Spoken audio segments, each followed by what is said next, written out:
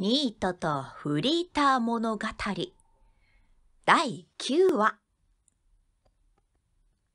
ニートとフリーターの家にはサバトラの一匹の猫がいる。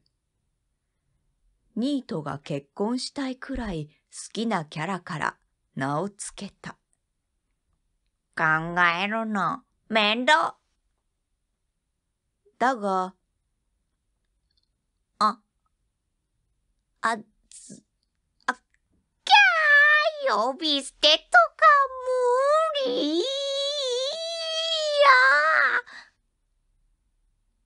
実際、恥ずかしくて呼べない。アホや、アホにゃ。